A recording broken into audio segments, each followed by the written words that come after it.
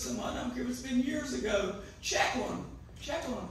Check on them. Call them. Are you still in the faith? Are you still plowing for the Lord? Are you still working, Daniel? Are you talk to your mother, talk to your sisters, talk to your brothers, talk to your friends, or ask them, Terry, if they are they still serving the Lord?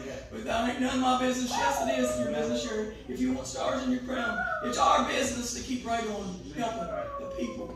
Oh my God. Stay fertile for the. You can be seated this morning, but I just want you to keep praising the Lord.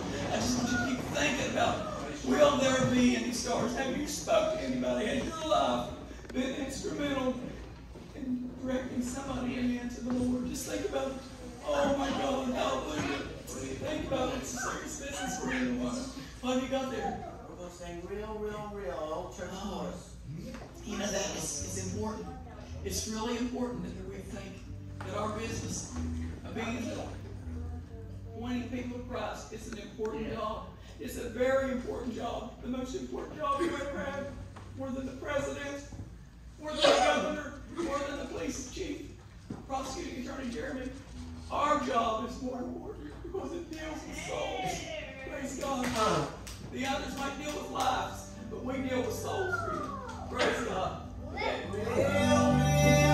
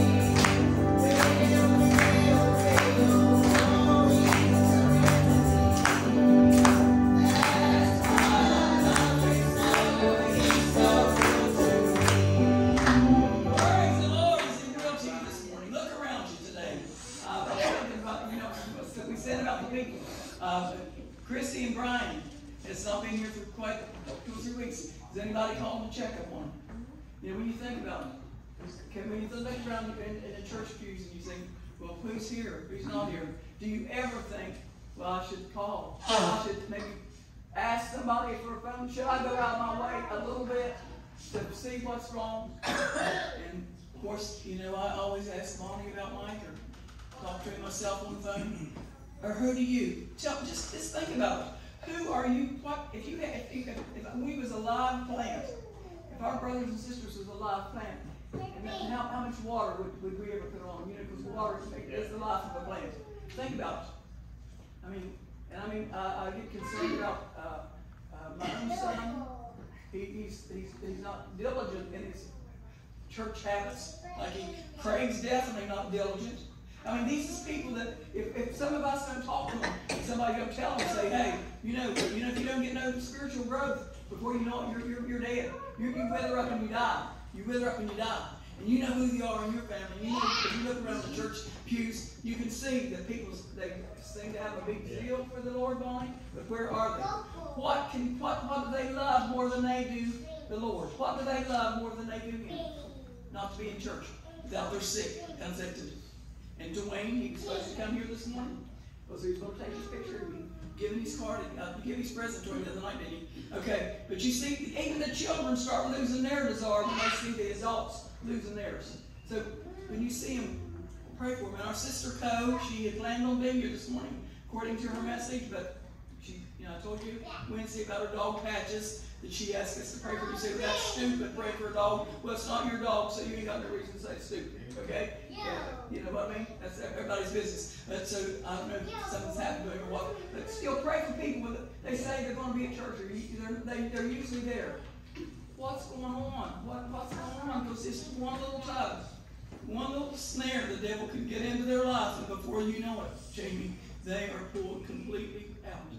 The devil will pull them completely out. Jeffrey can tell you that. Anybody in here that's been a Christian more than one week can tell you that. The devil talks to me every day. Don't you used to go? Why don't you do this? Why don't you do that? You, you better spend your time doing this. You, you know you're tired. So who do you think you are? I know who I am. I'm a saint. I'm a child of the king. That's, that's why I keep going on. That's exactly what I tell him right back in his face as he string it back. I'm a saint. I'm a child of the king, and I'm going to keep on. I'm going on. And Jesse up here is a saint, and she's a child of the king, and she's going to talk. She wants to come up here. And she, you lay your books down. You don't have to bring them up.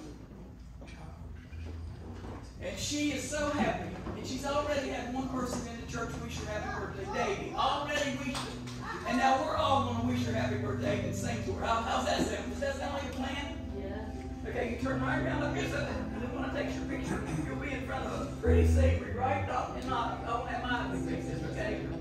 Happy birthday to you.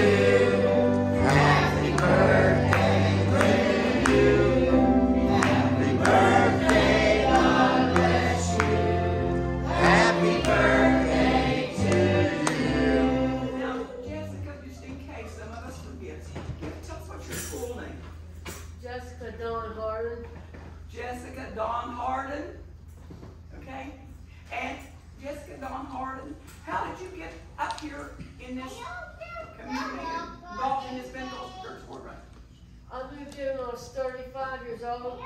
I was living in a home named Jean Rose and she wasn't treating me right. Okay? But then where, are you living at now? Mary Ann Croston. Oh, what about that home?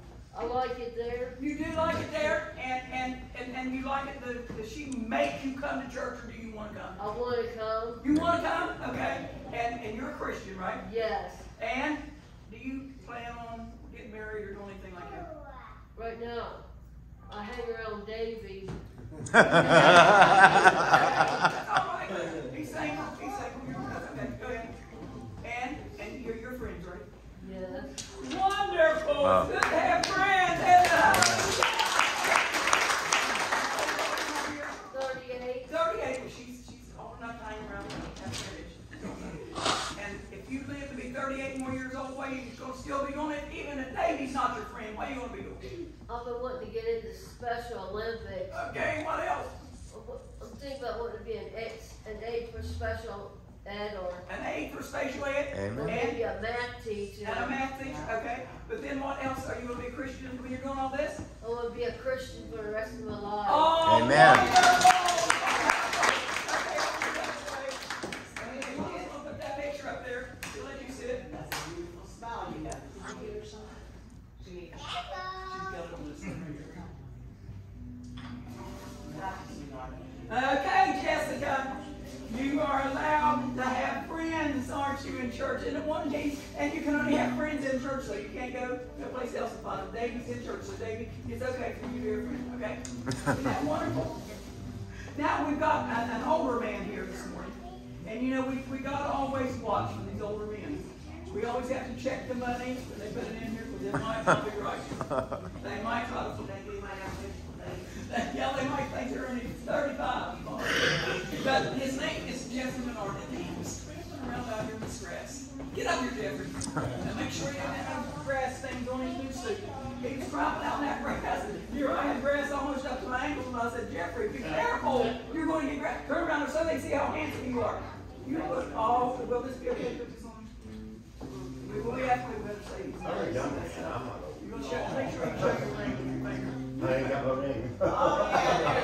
So what's going on here?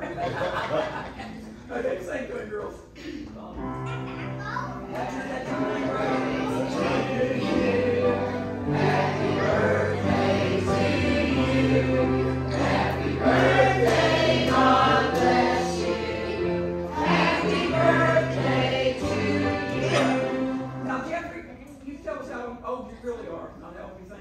Oh, uh, fifty-one, I'm still young. Fifty-one, he is. Don't we always say Christian men are the handsomest? Don't we always say Christian women are the handsomest? That's right, twenty-five and a half times, twenty-five and a half. And, and how long have you really been alive though in Christ?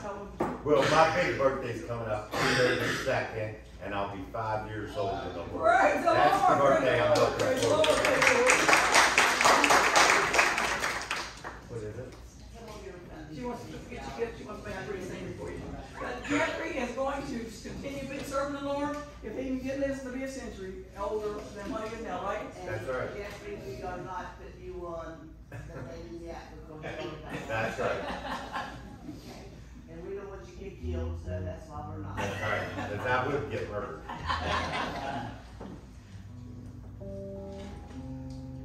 And church, give him a big hand. And Jeffrey, we might have a present for you up here. We might have a present for you, but we just have, wait, we'll wait to see how he does with the preaching. That's right. See if I'm worth that. If we don't step on nobody's toes, we might have. And we got little Dorian's here, but he's not here. And we got uh, old old Craig's here, but he's not here. And then, then old, and we got her old old Dwayne's here, but he's not here. So we just have to wait, Bonnie. We have to wait on these things. Now, I just wondered, did anybody bring your Bible? Did you think to bring your Bible this morning?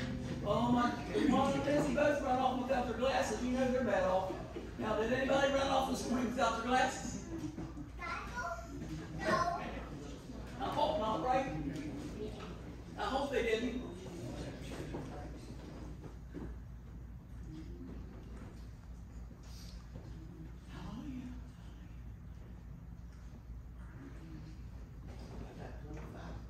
Got twenty-five, okay. Well, and now, this morning, I see we've only got about five or six jewels. But with our five or six jewels coming up here, their song leader has abdicated already. She's not here. So teachers, you have to do your job again. You know, uh, Ina and, and Beth, you know, I was wondering where Ina and, uh, Alex was, uh, when you think about, when you look around at the people.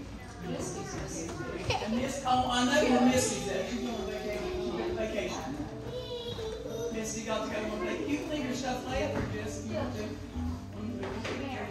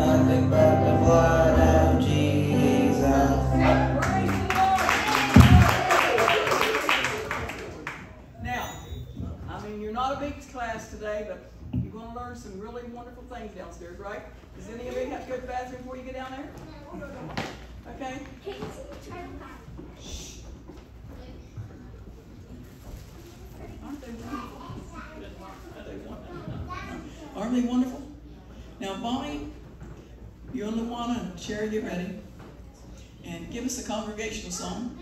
And Davey's going to come and take up the offering. Davey, would you come up here?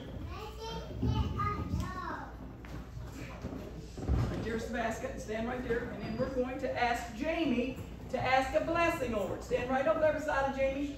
Stand right there beside of Jamie. Jamie, would you ask a blessing on this offering?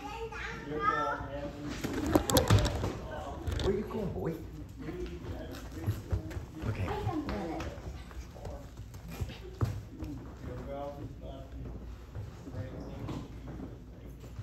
The church said amen with him. So, okay, if you got, if you want to empty your pockets so that if you want to shout, when Jeffrey preaches, you'll be a lot lighter.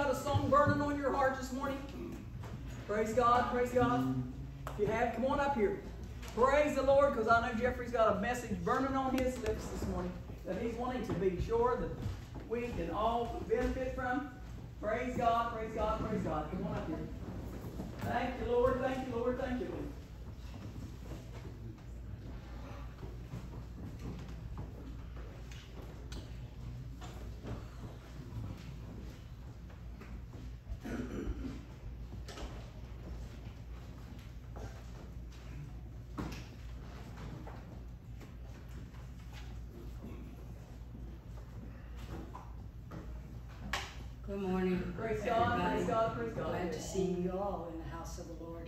It's better to be here than afflicted and sick um, in a hospital someplace. Yes, indeed. You know, we've got a lot to be thankful for. I've been there too many times, and each time he seems like he always raised me up. Amen. Amen. I'm going to try this song. Be patient. Uh, the Bible says, make a joyful noise unto the Lord. God. That's what I do. I make a noise. I'm singing this song down on my knees. I don't think, I don't think that makes What is it? Down on Down on my knees. Down Down on my knees. I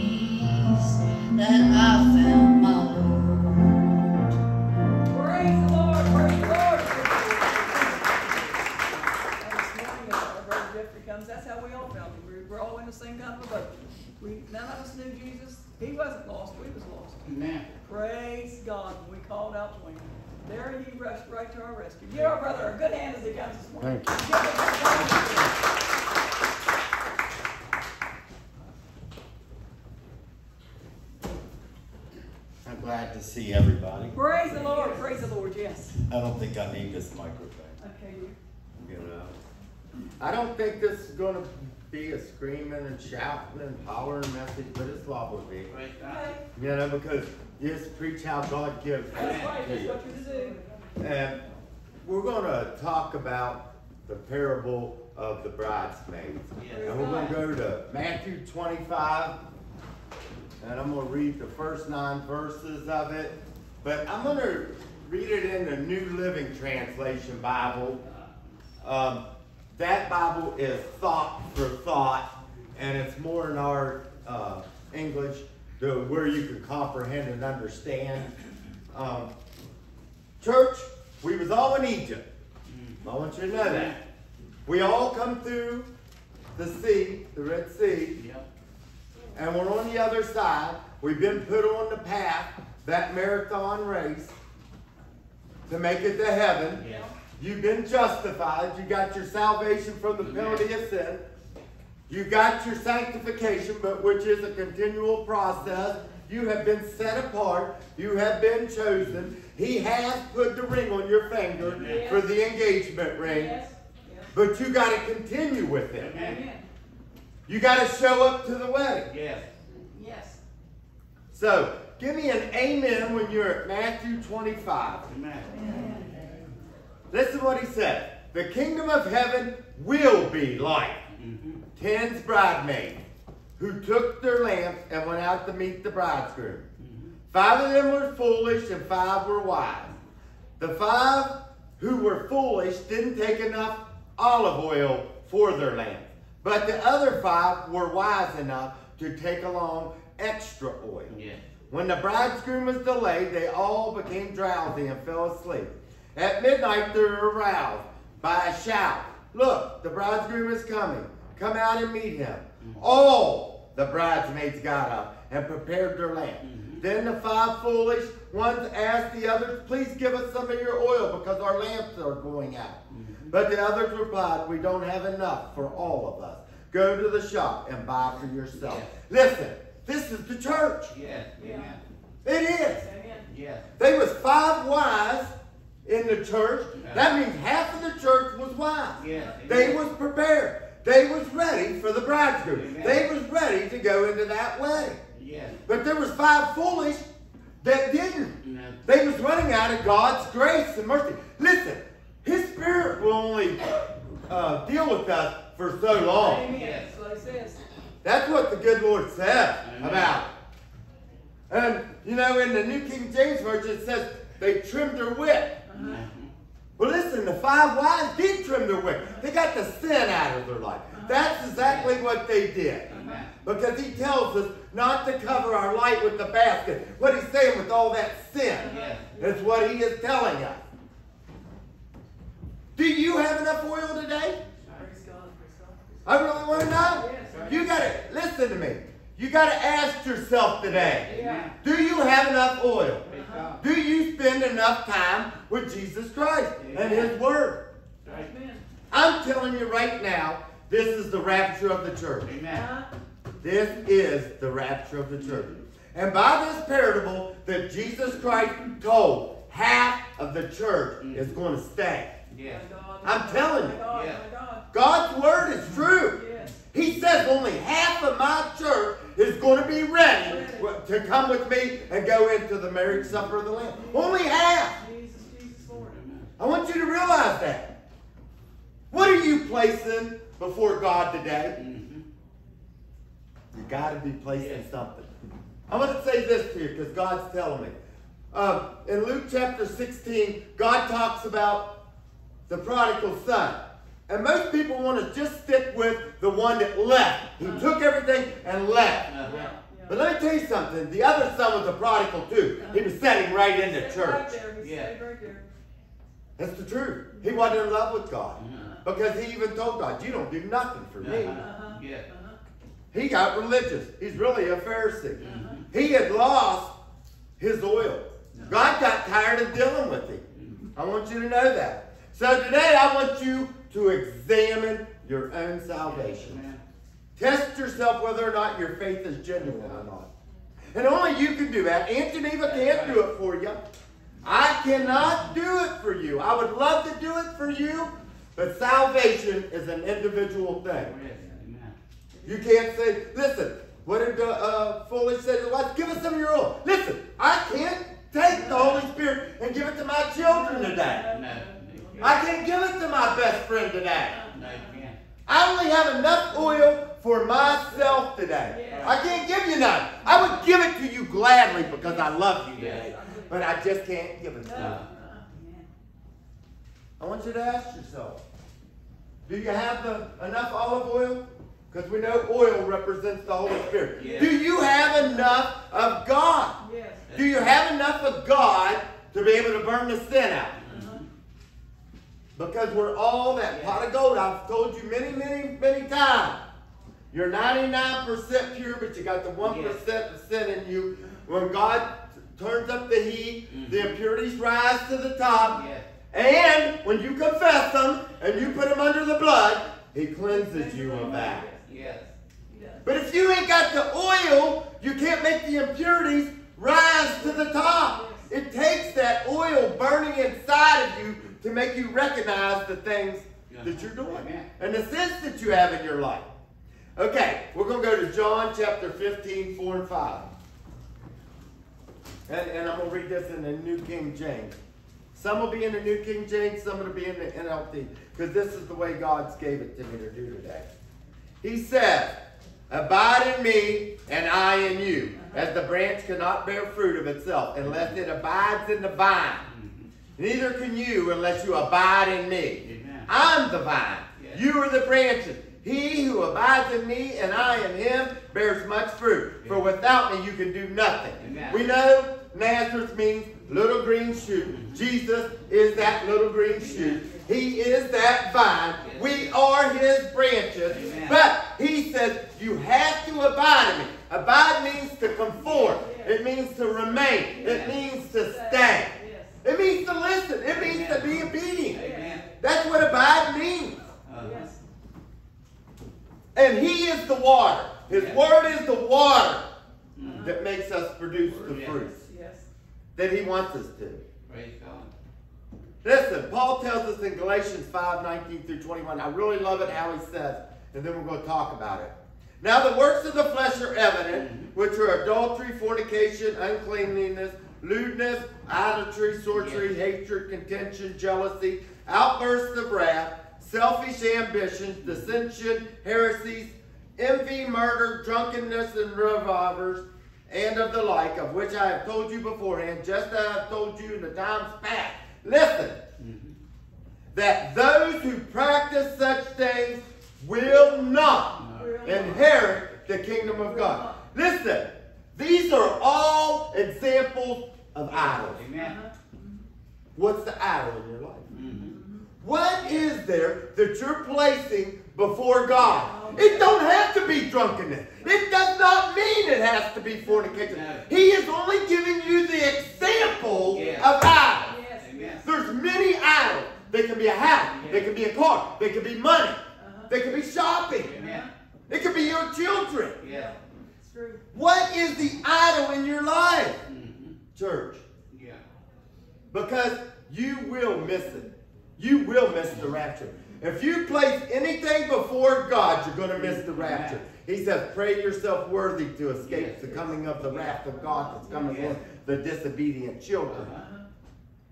Now listen, we've already got the foundation. This is the rapture of the church. This is the church, Yes. and half the church is going to be stayed here. I want you to understand Yes, that. Which half are you? Are you the five wise or are you the five foolish? That's what I want to know. Yes. Listen, he tells us in the book of Colossians chapter 3, put to death those members Yes. that are on the earth, the fornication, adultery, idolatry, all that stuff. He says, put it to death. That's what the water baptism's all about. Yes. Yes. Listen, you died to the old life. You was buried and resurrected just Yes. like Jesus Christ. You was resurrected in unity Yes. into Yes. Christ Jesus. Yes. Three is unity Amen. in the Hebrew.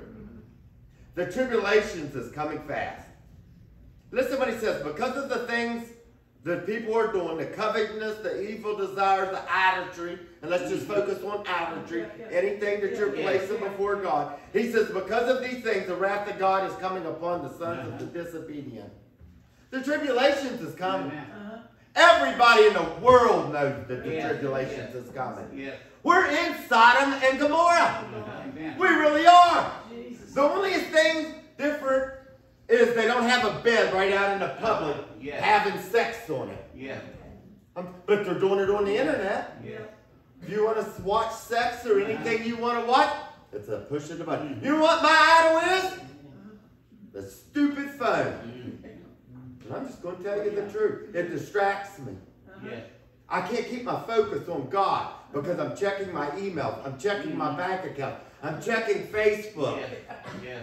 I, I'm doing all of these things, and it's a distraction. Yes, yes. Then, whether you like it or not, once you see the things on Facebook, then your mind starts thinking Yeah. about Yeah. them Yeah. Yeah. instead of God. That's why you can't read your Bible. Yeah. That's why you can't meditate on the Word of God because you put distractions Yeah. in your life. Yeah. First thing in the morning. God told me, and He done gave me the warning again uh, this morning for my birthday. He said, I'm sick of the phone, Jeffrey. Yeah. Uh-huh.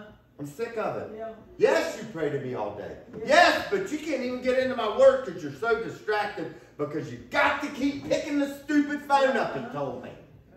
It's true. Carry it around. That's the idol in most of our lives. Yeah. It really is. Distracts us, don't it? Then somebody tells us, and this is a struggle. Listen, God never said anything was going to be easy. I walked by my phone probably 50 times today Yeah. and went to reach for it, Yeah. and the Holy Spirit kept telling me, no, and I leave it alone. Uh-huh. I'm telling you, I've gotten a bad habit. Yeah. Yeah. Yeah. I really have. And whatever you're spending most of your time on, that's your idol. That's Yeah. right. Yeah. It's just the truth. Mm-hmm. Is God truly first in your life? God help us. Are you being wise? Mm-hmm. Right. You know, I'm just going to say this to you, and I'm not trying to hurt your feelings, but when you only want to go to church once a week, mm-hmm. Sunday morning Christian, I'm going to tell you something. I don't know if you're going to make it. I, I, I'm just going to tell you the truth. Because I'm going to just tell you the truth. You're not hot for God. You're really not. You've got other things that you're allowing to distract you. Everybody has used the COVID excuse that I can't go to church on Sunday evenings anymore. I can't go on Wednesday. Oh, it might rain outside, but if you wanted to go to a party, you could sure go to it. If you wanted to shop, you could sure go to it. If you want to talk on the phone, you can sure do that. If you want to look on the internet, you can sure do that, can't you? But you can't come to church more than once a week. Just the truth. And I'm telling you, you're fooling yourself. Yes. You're going to be left here. I'm just telling you, this is a warning, and God has gave this church. He's already told you. He's already told me. He said, "Listen, there's some of this church is the church of Ephesus. Yeah. You're not in love with me. You're doing a routine of coming to church. Yeah. You're, you're, you're not in love with me. Listen, I love God. If I go to a revival, I go to a revival. I go to church as much as possible. But I still fall short. But I'm going to tell you something. You better get on fire for God today. You're going to miss it. Jesus. You better quit excusing, I don't feel good. Well, if you don't feel good, you better go to church God. so that He can fill you with the Holy Spirit Yes. so you can feel better. Geneva don't feel like going to church probably all the time, but I'm going to tell you something. She's faithful.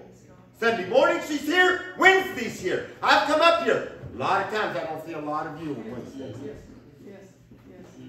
If I stomped your toes, I didn't stomp them. God stomped them.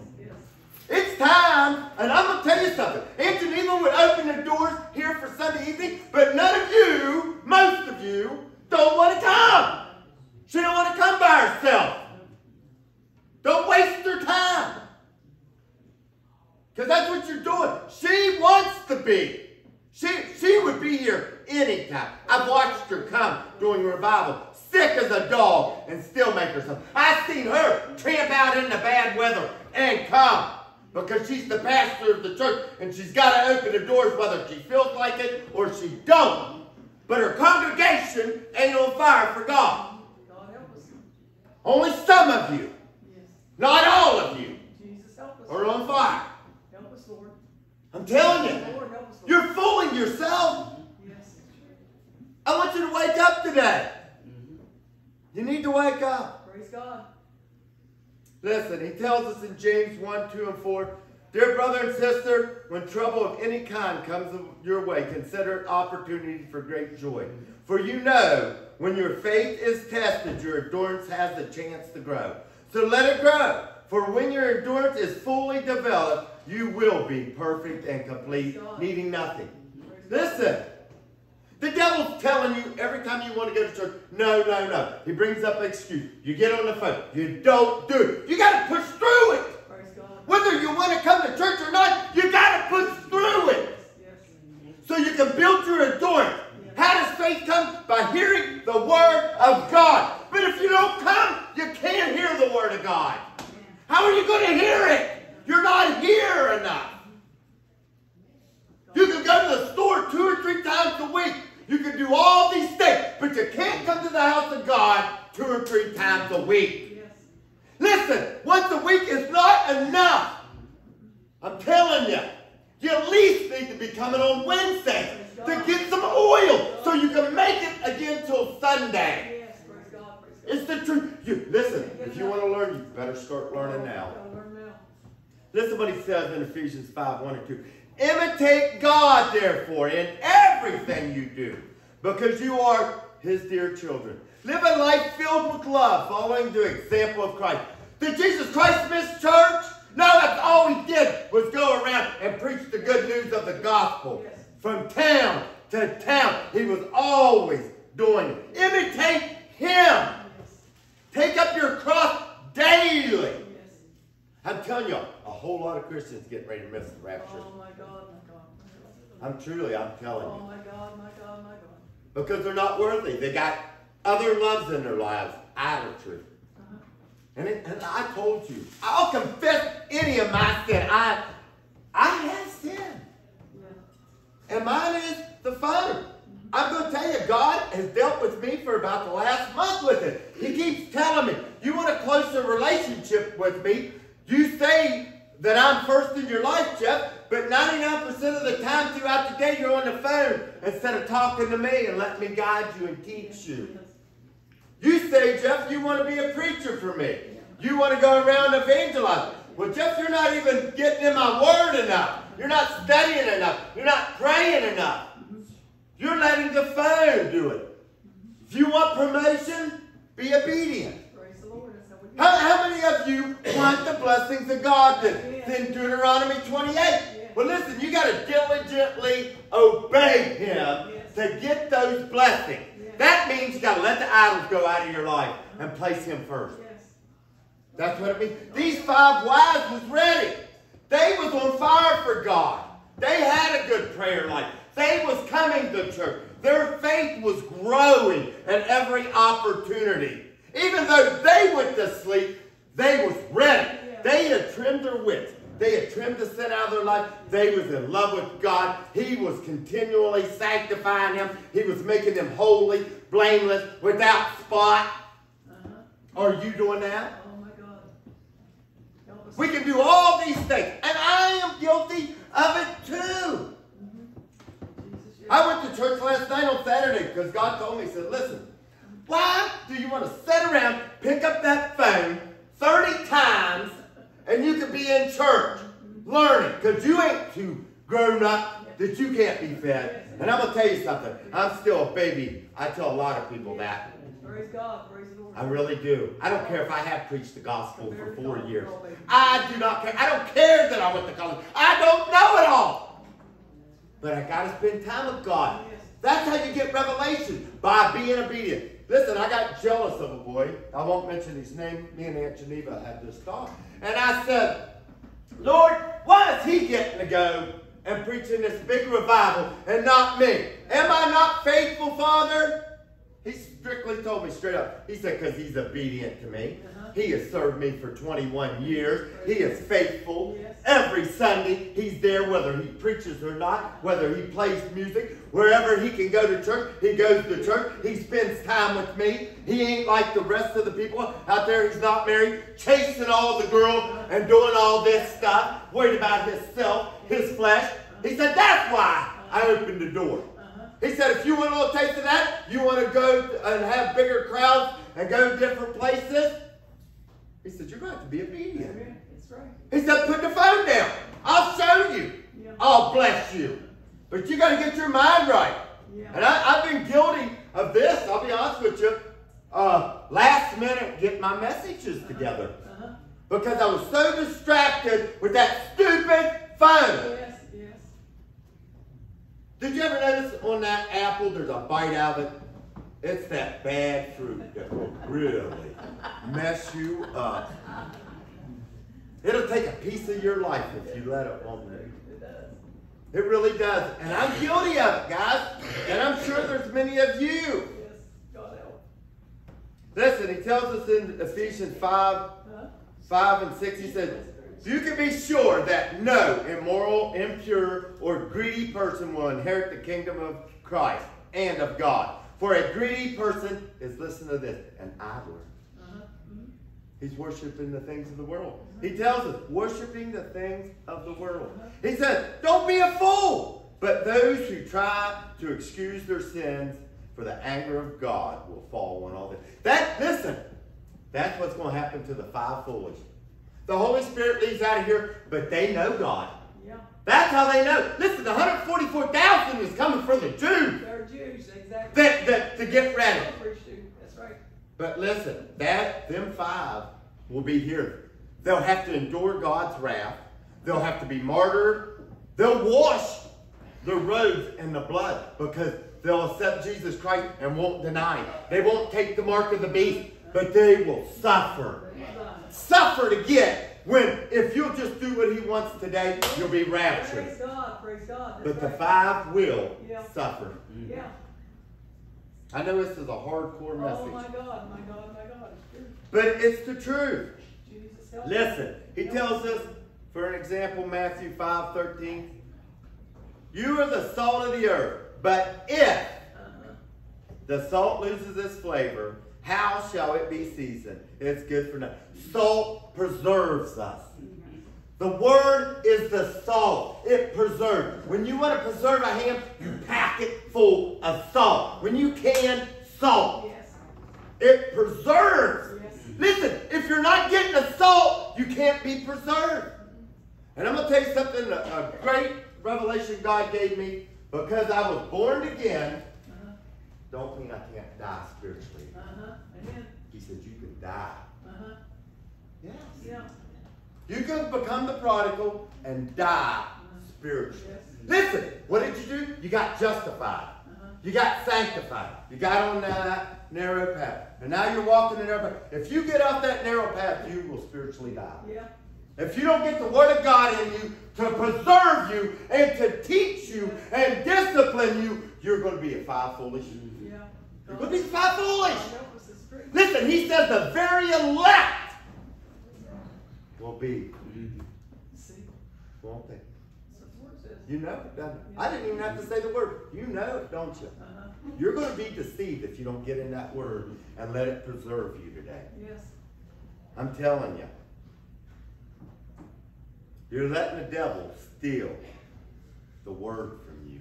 He comes in like a thief in the night to steal it.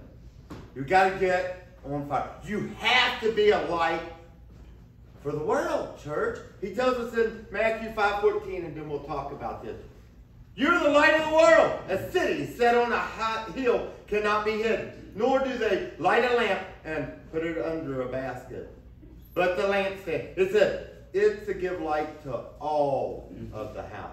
But when you don't continually be filled with the Holy Spirit, you- you- you're getting covered. Your light's just got a glimmer. That's what happened to the five foolish. They had a glimmer. They had just a little bit of oil, and they was burning. But when the bridegroom came, their lamp went out. God got tired, and they was covered in sin. They didn't trim their wick. But listen, he tells us, I believe it's in Ezekiel, it might be 37. But you're a watchman. Do you know you're a watchman for your family? He compares it to a pastor, pastoring the flock. Yes. But guess what? You're all pastors for your family. Yes. Hallelujah. You're all evangelists. Yes. Uh, 2 Timothy 4 5. He said, endure afflictions because you're going to endure them. Do the work of an evangelist. Fulfill your ministry. Uh-huh.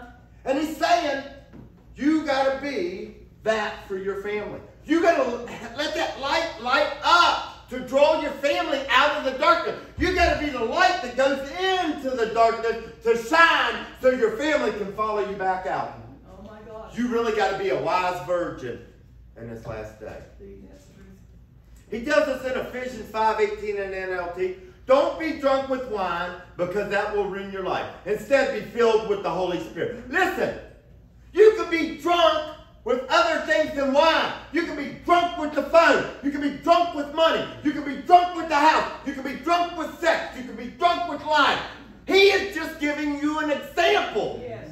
That's all he's doing. But if you look into it spiritually, you can be drunk on anything. Yes. You can make an idol of it. But he says be filled with the Holy Spirit so it'll get rid of that kind of stuff in your life. So that you can get the Word of God in you that will preserve you, that salt that you need. And we got to keep putting salt on ourselves or we won't be preserved. Right. That's what happened to the five foolish. They never kept getting the Word of God. They didn't come to hear the Word of God so their faith would grow and they started drifting. Listen, this is a wonderful church and you're wonderful people. And God has gave you the warning of the church of Ephesus here. And now he's giving you a warning that you're going to miss the rapture. Get your anchor down. Yes. Anthony will be here if you will come. But you can't come if you're not going to come. Don't waste your time. Mm-hmm. You got to get the word to preserve you. You got to get full of the Holy Spirit so you have the desire to come to church, to build your faith, to build your door, because the church is going to suffer some persecution before the rapture. Noah suffered persecution. They laughed at him. They made fun at him. They got drunk. They were doing all this stuff. And he worked for a hundred years. Well, let me tell you something. The work is about done. The ark is just about built. And those who are ready will go in. And when Jesus Christ shuts the door, no one can open it. Nope. Nobody can. You'll have to stay. I'm not saying you're not going to make it to heaven. I'm just telling you you're going to suffer the wrath of God because he's going to pour it out. When he takes the restrainer, the Holy Spirit, and he casts the devil from the second heaven down to earth, havoc hits. Uh-huh. Havoc hits. They will be wars and famines and earthquakes, volcanic eruption. Oh my God. That's why the uh, moon will turn to blood and the sun because of the volcanic ash and fires and tsunamis is going to hit places like New York and California and destroy whole cities because he's going to do what he did to Sodom and Gomorrah. Yeah. He's going to destroy. Do you know, just do the research, how many people are leaving the big city? God is calling his children out of the cities Yes, right now. He's trying to place them in little hometown churches that's preaching the truth. Uh-huh. There's nothing wrong with the mega churches, but you don't get the one-on-one with the pastor. You need that one-on-one. You need mature Christians around you helping you. It is a fact, church.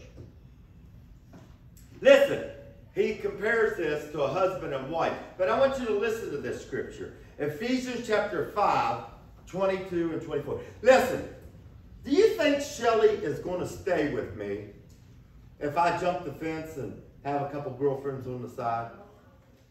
Ain't stay with me. Would I stay with Shelly if she had a couple boyfriends on the side? No. That's just a fact. Listen what he says. For wives, this means submit to your husbands as to the Lord. For a husband is the head of the, his wife, as Christ is the head of the church. We're his bridesmaids. He's the husband. He's the bridegroom. We're his bride. Yeah, for his And the five wives will be ready to go into that wedding with him. That's all he's doing is giving you that comparison to let you know I'm the head. Uh-huh. and you're my body.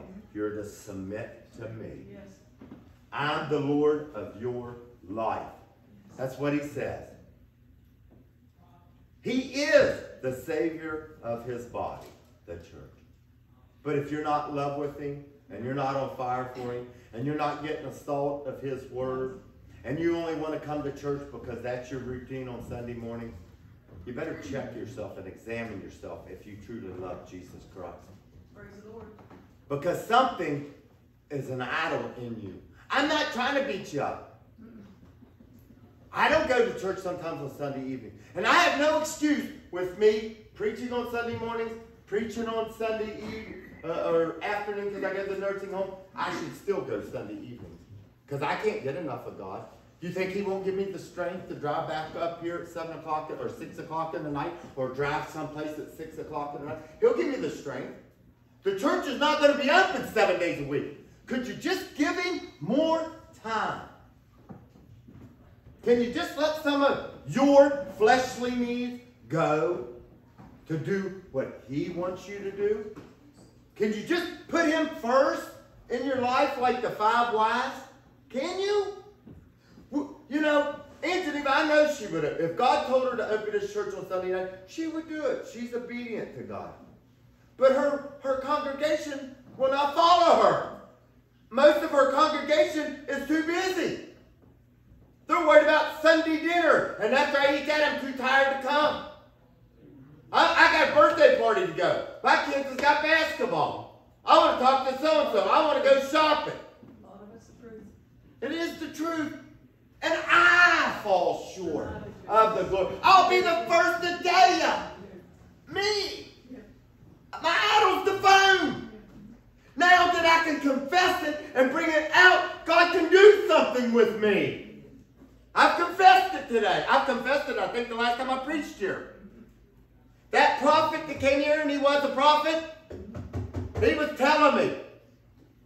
I already know God had told me the morning about the phone. When the prophet come in and start talking about the phone, it hit me. He said, I'm confirming my word to you, Jeff. So you know what I did on Monday? I left the phone down a little bit. Then before I knew it, I was back right into the routine first thing in the morning. And I called myself, and, uh, and the devil was tricking me, picking it up to read my little Bible verse. Well, guess what? I've got a dozen Bibles that I can pick up instead of that phone. But once I pick up that phone, I see I got a message on Messenger. I got a text message. I got this. And before I knew it, I done went to Facebook to see what was said or what was done. And done got me. Done got me. Then I eat a little bit, I, I, I drink my coffee, and I think, well, I haven't really got time to sit down and read my Bible and really work on a message. I need to go to the gym to stay in good shape. Then I got to run here, I got to run there, I got to do that. All distractions. All distractions. The devil is clever. Oh, he's clever. He is sneaky. He's sneaky. I'm telling you. He's clever and sneaky. That's the truth. But listen what he says in Ephesians chapter 5, 25 and 27. For the husband, this means love your wives just as Christ loved the church. He gave up his own life for her. Can you give your flesh up for Christ today? Oh my God. Can you give it up? He gave himself up for us on that cross to, to cleanse us of all unrighteousness, to love us, to protect us, to grow us, to sustain us. Can we give up? Oh my God, my God, my God. Can we give our lives up, our fleshly lives? Because you're going to spend eternity in heaven. Can we give it up today? Or are we selfish? The flesh is all about self. It's the truth. Can you give your life up? He gave his up so you can spend eternity. Can you give up some of your wants and what some of your desires that you have in the flesh to serve him and to put him first? Jesus, help us. Can we? Because listen what he wants to do with you. He wants to make you holy. He wants to clean you. He wants to wash you by the cleansing of God's word. Because he's the word. He wants to cleanse you. He wants to make you spotless, without blame. That's the church he's coming for. So many people miss it. Listen to me.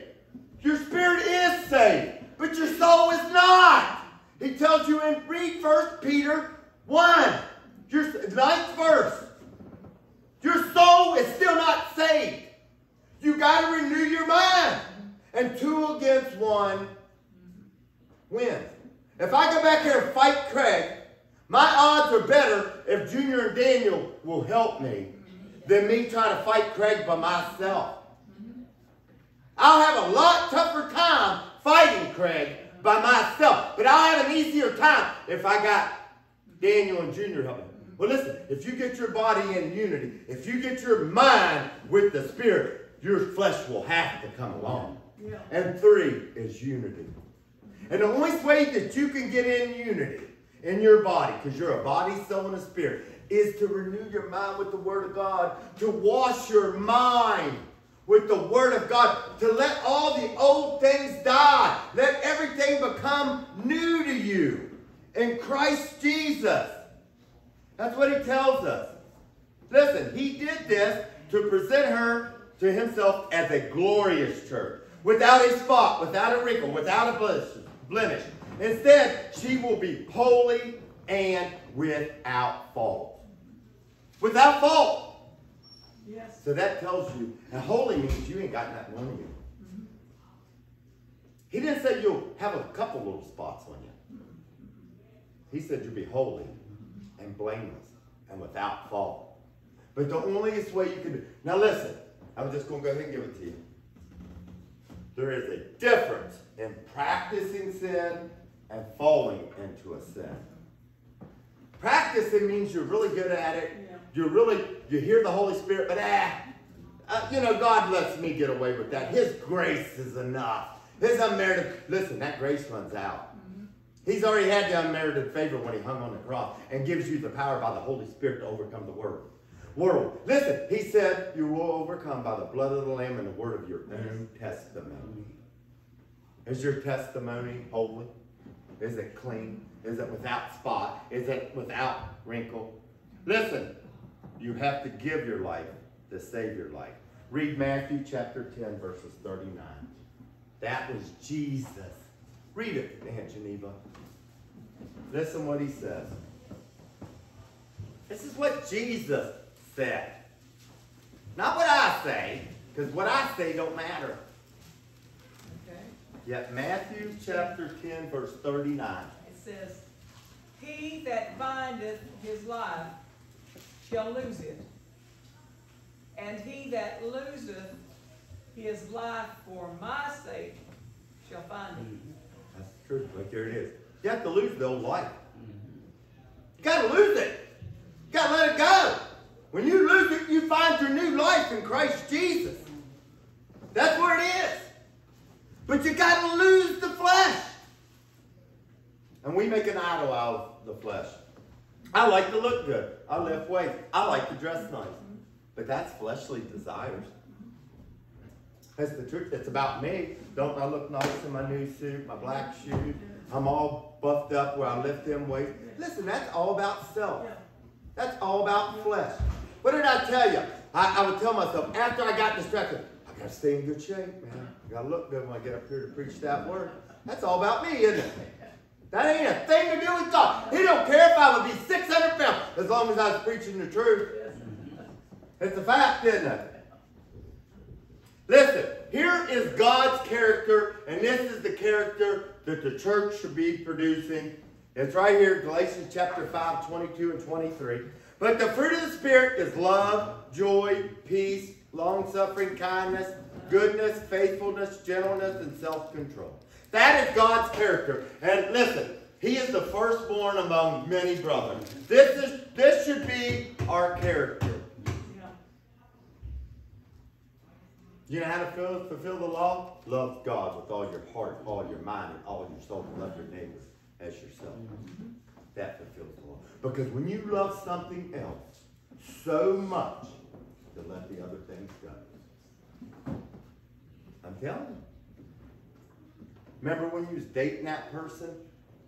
Before you got married, that's all you could think about was loving them, doing things for them, helping them. That's all you thought about. Well, that's where we got to be with Christ. He's our husband. We're his bridegroom. And we got to produce this character. We got to let the old things today pass away. Let them go, guys. Bury them. Don't keep digging them old things back up. And get rid of the idol. God's going to do an altar call when I'm done with this message. And the Lord told me to tell you whatever idol in your life when I'm done with this message, mm-hmm. don't be ashamed. Come up here and give it to him. Yes. If you don't pray and offer the idol up to him, there's no sacrifice for that idol. you're keeping it. And you're and the blood is not cleansing you of it. Because you're not offering it. What did I tell you? In the Old Testament, they took animals and they offered them. In the New Testament, it's us. Going, altar means God's table. It's us offering our flesh to Jesus Christ daily, taking up our cross. Daily, He wants us to come to Him and offer our flesh, our desires in the flesh. He wants us to offer them to Him so that He can take them away. I told you, you're the pot of gold, guys. Listen what he says. 2 Corinthians 7 1. Therefore, having these promises, beloved, listen what he says. Let us cleanse ourselves from all filthiness of the flesh and spirit, perfecting holiness in the fear of God. Did he say keep some of that filthiness? No, no. Did he not say all, everything? All. What is what is so confusing about all? How can you reason yourself into I can have a little? When he says cleanse yourself of all filthiness of the flesh. I can't keep some of it. I can't do a little bit of adultery once in a while. Because I ain't making it. I'm not going to make it. Do you understand? You put the ring on your finger. You're committing adultery when you go back out and play with the devil. It is spiritual adultery. Yeah. Yes. When you don't place him first, you're fornicating adultery with the devil. Yeah. When you won't come to church more than once a week, it's because you got another husband. You're committing adultery. Wake up today. Start getting on fire. Aunt Geneva will obey God, but her congregation's got to obey God too, because she cannot make you come. She can't make it. Make it. You might say, well, I ain't got enough gas money. I promise you, God will give you enough gas money that you can come and serve Him. He's the provider. Yeah. He's never left me out. No, nobody else. I want you to know that. You're going to have to put all your armor on. There's seven stages to putting it on. And I went over. Go back on YouTube and watch the message about armor. Listen, you got to wake up and get the mind of Christ every morning. Jesus, help us, dude. You got to put the of Help righteousness Lord. Help us, Lord. on. You really do. You got to belt the waist to hold your armor on to protect yourself. And if you ever notice that, that's compared to a Roman soldier. There's nothing on the back to protect them. You got to keep moving forward in Jesus Christ on the narrow path. You can't keep turning your back for the devil to stick you in the back and knock you off the narrow path.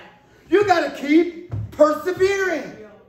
Why did Paul say, I fought the good fight? Because it was a fight. He was in prison. He was getting beaten. Yeah. Oh my gosh, 39 lashes. I forget how many times. He got stoned. Yeah. He was persecuted day and night. He didn't have everything he wanted to eat. He didn't have a mansion on the hill. He didn't have $5 million in the bank. But he was sufficient in anything he had because the Lord always provided for him. Thank God. Didn't he? Yes, he did. But it's all about us, guys. It's a, I'm the same way. Yes, Lord, forgive us. Listen, when listen, when the Holy Spirit preaches through me, I'm hearing what God is saying. Because it goes for me too. yes. All of us. We're all.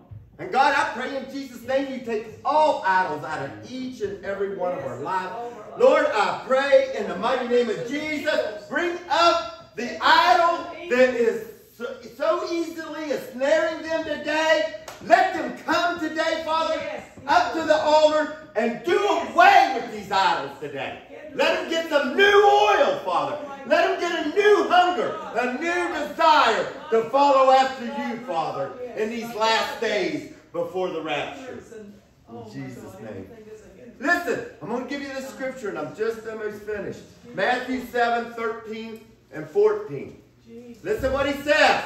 And Jesus Christ is the gate. There is no other way to heaven. He says, enter by the narrow gate, for wide is the gate and broad is the way that leads to destruction. And there will be many whom will go by it. He said, because narrow is the gate and difficult Yes. is the way which leads to life, and they will be few to find. Difficult means hard. I've told you the sower message many times, three quarters of the seed falls away. Yeah. Now listen, God is saying out of his ten bridegrooms, five will be ready and five won't. Uh-huh. Five will be ready to go into the marriage supper of the Lamb and escape the tribulation because they prayed themselves worthy. They kept the oil. They kept God's grace. They put him first. They got to escape the coming things that was coming on the oh earth. The five foolish had to stay. It's just the way it is.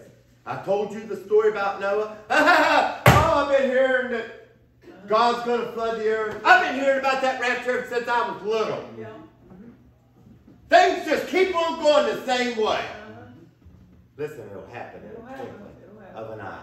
The trumpet will sound, the dead will rise, and those who are alive will be caught up and changed.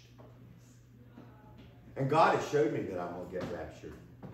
And you know why He shows me that I'm going to get raptured? To encourage me, Yes. to get into church, to get more of the Word, to, so that I can get that salt to preserve my faith, to grow my faith, so I have the endurance to do it. Salvation is a free gift. He has gave you every tool that you need, Yes. but He is not going to take your will from you. No. Listen, there's where once saved, always saved gets it wrong. He will not take your will. Uh-uh. He didn't take the angels in heaven's will. Uh-uh. They had a choice. A third decide, I'm not going to serve I'm him. not going to. When mankind, three quarters of mankind Yeah. is going to choose not to serve him. It's the opposite. Mm-hmm. A third up there, two thirds of mankind Uh-huh. will go to hell. And he didn't even make hell for us. No. It was for the angel and his demons and Lucifer. It's never for us. For us. Listen what happened to them five foolish virgins because they wasn't on they wasn't hot for him. And while they went to buy, the bridegroom came, and those who were ready went in with him to the wedding, and the door was shut. Afterwards the other virgins came also, saying, Lord, Lord, open up. Yeah. But he answered and said, Surely I say to you, I don't know you. Uh-huh. You wasn't ready. You took your engagement ring off. Uh-huh. The Holy Spirit left you Yeah. because He leaves. You're here. Yeah. You took your ring off. The Holy Spirit. Listen, when it says He seals you, back in the old days, it was a seal the king did. He would stamp it, His signature. Well, God has put a stamp on you. Yes, he has. But if you don't follow His will, the stamp leaves you. It leaves, and you stay. Because you didn't give Him your will. Only those who do the will of the Father shall inherit the kingdom of heaven. Because just to be gone, you children of lawlessness, which lawlessness is disobedience. I'm going to tell you again because God's telling me to tell somebody this. You know what obedience is? Submission to another's authority. Yeah. Are you submitting to his authority, his word? He said, don't forsake the assembling of yourself. He says to be in church as much as you can to get the oil, to build your faith, to, so the word will purify you and preserve you and give you endurance to make it. He's not going to keep telling you. Listen, Revelation 3.15. I know your works, that you're neither cold or hot. I could wish you were cold or hot. He says, I wish you would have never knew me, then been hot for me at one time, and go lukewarm. That's what he said. Because he also says if you leave him, it would have been better for you to never have known me. He tells you that. Yeah. If you know me and you love me, oh gosh, when you go to hell, mm. it will be worse for you. Yes. That's what he said. Listen what he says he's going to do. So then, because you are lukewarm, neither cold or hot, I will vomit you out of my mouth. Who is the head? Him. Mm-hmm. Where does vomit come out of? Him. Out of his body. We're his body. Yes. And ourselves blameless, without spot, without holy, without on fire for him, he's going to vomit you out. He's going to cast you out. He's going to take the ones that's ready up, and you're going to remain. Oh my God, my God. That's what he's saying. Look at it spiritually. He's given us illustrations of man. but look at it in the spirit.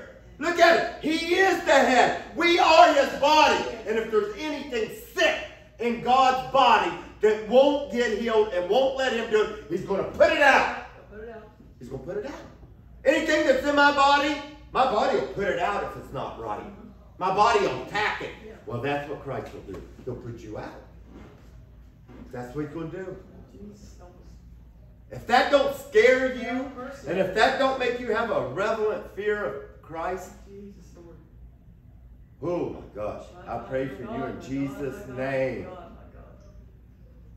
My that he wakes you up today. My God, my God, my God. The body is all of you. It's not this church house. Aunt Geneva can have church by herself with just her and God, but she needs you here. Praise God, we need each other, yes we do. I just want to ask you a question. Uh, uh, um, before you answer in your own mind or don't tell me, how many of you want your family to go to hell? Is your flesh and your desires and your idols worth your children going to hell? Or your mother and father? You know, I have told you this. God told me not that I'd ever leave. I promise you in Jesus' name, I will never leave God. I don't care what I got to go through. I'll never leave God because God told me, Jeffrey, you're not going to leave me. But if you would leave me, all the people that you was a light for is going to say, Jeff couldn't handle it. I can't handle it.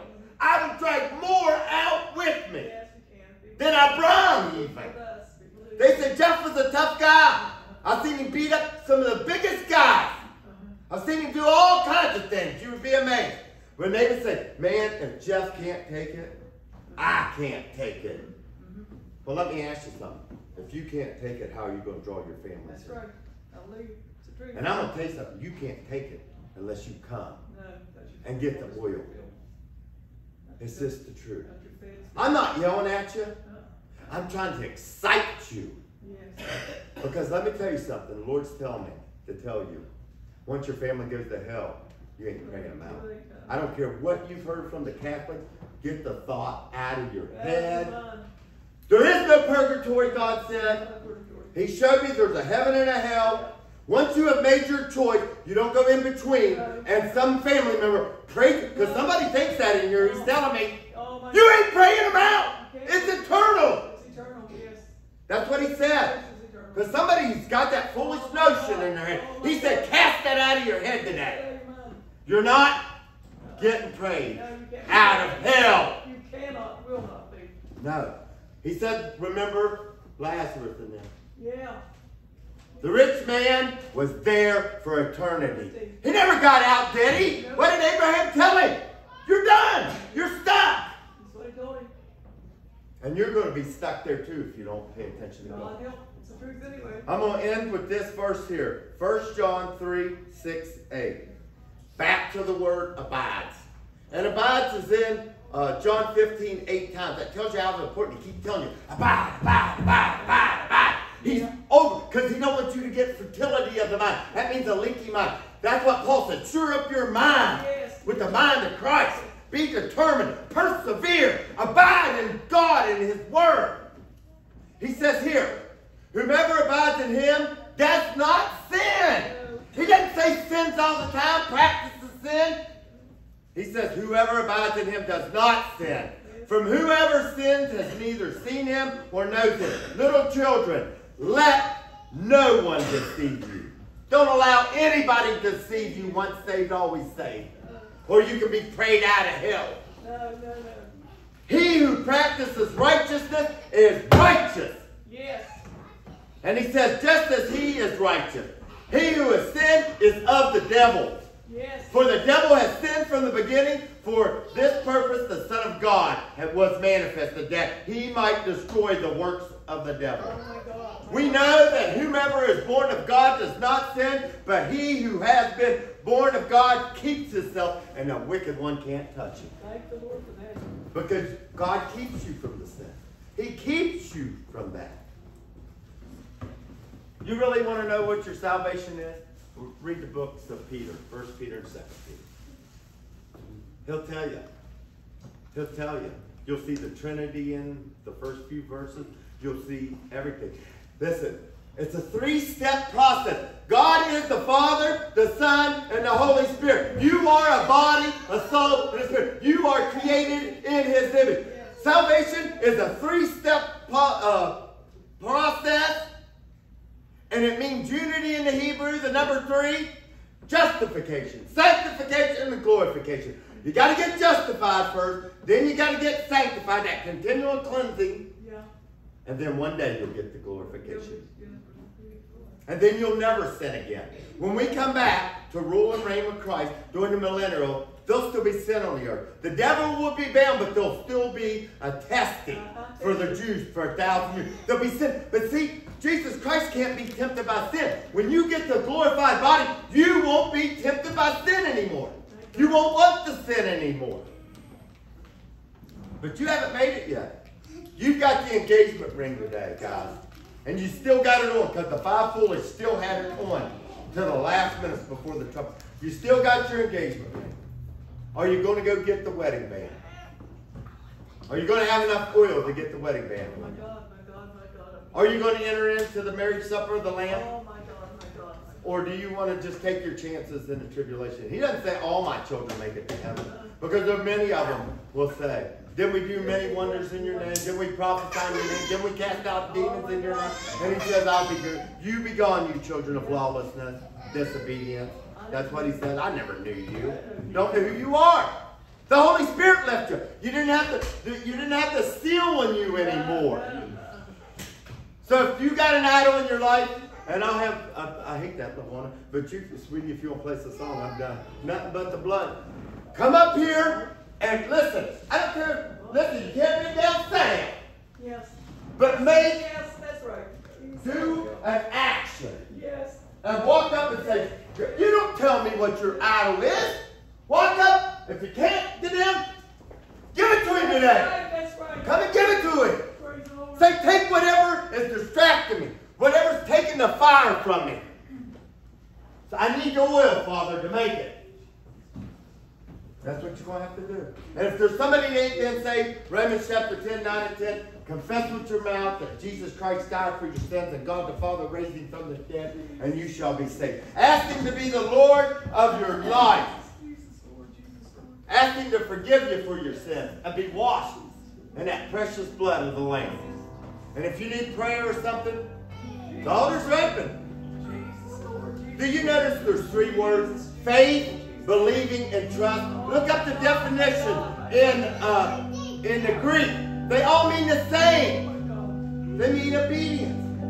Because if you have faith in God, you do what He says. If you believe in God, you do what He said. If you trust in God, you do what He says.